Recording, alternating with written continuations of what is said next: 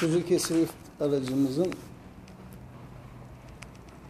4.3 inç dikiz ayna geri görüş kamera uygulaması yaptık. Bu araca park sensör istemediler. Normal orta merkeze bir kamera koyduk. Geniş açıdır bu kameramız. 150 derece açısı var. Şu an araç geri testte.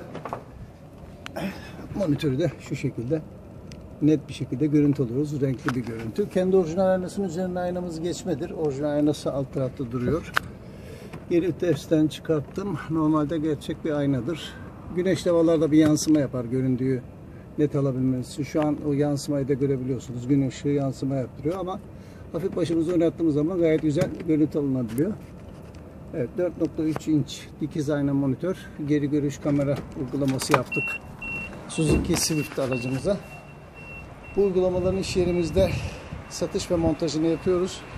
Video altındaki iletişim bilgilerinden bizimle bağlantı kurabilirsiniz.